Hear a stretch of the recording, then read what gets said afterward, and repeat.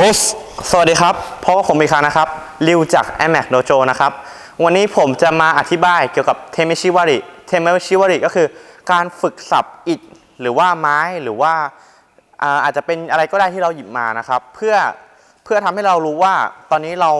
ฝึกมาเราพัฒนาถึงขั้นไหนแล้ว ตอนแรกอาจจะฝึกตอนแรกอาจจะได้อิฐอันเดียว สับได้อันเดียวอะไรอย่างนี้ แล้วต่อมาอาจจะฝึกท่าไปเรื่อยๆ จนเกิดความคุ้นชินแล้วเกิดกล้ามเนื้อทำให้เราสับอิฐได้เพิ่มขึ้นเรื่อยๆนะครับเป็นตัววัดอย่างหนึ่งของนักคาราเต้นะครับเดี๋ยวดูเลยนะครับว่าทำยังไงนะครับสำหรับการ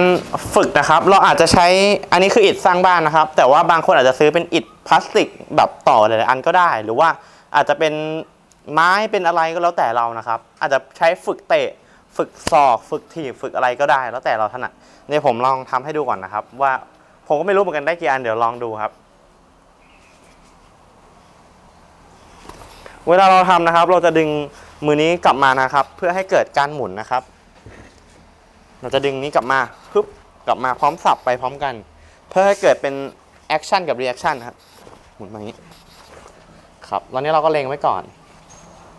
สับนี้นะครับ อันนี้ก็จะหักแล้ว เราดูว่านี้มัน มันแข็งจริงหรือเปล่านะครับางคนเฮ้ยไม่แข็งว่ะเดี๋ยวให้พี่เคนถ่ายนะครับโอเคแล้วเดี๋ยวผมทดสอบว่ามันแข็งหรือไม่แข็งจริงนะครับ นี่เห็นเปล่า มันไม่ใช่อิฐที่เปาะๆนะครับโอเคครับเดี๋ยวผมลองทดสอบทำขึ้นไปเรื่อยๆว่าทำได้กี่อันผมไม่รู้เหมือนกันว่าผมได้สามสี่ห้าเดี๋ยวลองดูครับครับเดี๋ยวผมจะมาสับสามอันดูนะครับ แต่ตอนนี้ก็หมดบ้านถ้าเหลือแค่สามอันผมก็อยากสับเพิ่มเรื่อยๆแต่มันหมดแล้วครับ แต่เวลาเราสับนะครับ อย่างที่สำคัญที่สุดก็คือ เราจะใช้ตรงสันมือตรงนี้นะครับ ไม่ใช้นิ้วนะครับ ใช้นิ้วเราสับอย่างเงี้ยแล้วมันหักได้เลยครับ สับนี้ไม่มีทางหักเลยครับ อิดไม่มีทางหักเราสับเราใช้ตรงนี้เท่านั้น แล้วสับลงสับลงตรงกลางอย่างนี้ ถ้าคนที่แบบอยากสับให้เยอะขึ้นเรื่อยๆก็อาจจะทิ้งน้ำหนักตัวลงอย่างนี้ สับแล้วทิ้งตัวลง พร้อมกับดึงมือนี้กลับมา เวลาดึงมือนี้กลับมา มันจะเกิดทำให้ตัวเราเกิดแรงหมุนนะครับ ถ้าเรายืน อยู่แบบพื้นที่ไม่มีไม่มีแรงเสียดทานนะครับ เราดึงนี้ไปปุ๊บตัวเราก็จะหมุนไปเรื่อยๆนะครับ พอเราหมุนปุ๊บเราก็เอาแรงจากที่เราหมุนนะครับฟาดลงไปตรงตรงอิฐนะครับ ก็คือเวลาหมุนอย่างนี้ปุ๊บมือนี้ก็จะมีแรงเยอะขึ้นใช่ไหมครับแล้วก็หมุนสับลงไปนะครับ เดี๋ยวดูนะครับว่าจะเป็นยังไงกับอิฐสามสามก้อนนะครับ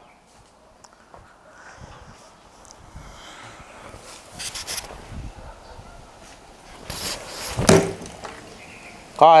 ประมาณนี้นะครับนี่อิฐก็สามก้อนพอดี เดี๋ยวไว้ข้างหน้าถ้ามีบ้านผมมีอิฐเยอะกว่านี้ก็จะซื้อมาเยอะกว่านี้ครับสำหรับคนที่กลัวเจ็บมือนะครับ กลัวเจ็บมือเราก็จะเอาผ้าผ้าอะไรก็ได้ครับ มาลองอาจจะอาจจะตั้งไว้อย่างนี้ แล้วก็เอาผ้าอาจจะดูไม่ค่อยดีแล้วตอนนี้ เอาผ้ามารองไว้แล้วก็ค่อยสับก็ได้ ถ้ากลัวเจ็บมือ ครับสำหรับวันนี้นะครับ ก็จบแล้วครับสำหรับคลิปสับอิด ถ้าคนอยากให้ทำถ้าถ้าเพื่อนๆอยากให้ทำคลิปสับอิดเตะไม้หรือว่าศอกใส่อิดหรืออะไร ก็คอมเมนต์มาด้านล่างได้เลยนะครับ แล้วก็อย่าลืมกดไลค์กดแชร์กด subscribe เพื่อเป็นกำลังใจให้ iMac โดโจและทีมงาน iMac ทุกๆคนด้วยนะครับ ขอบคุณมากครับ โอ้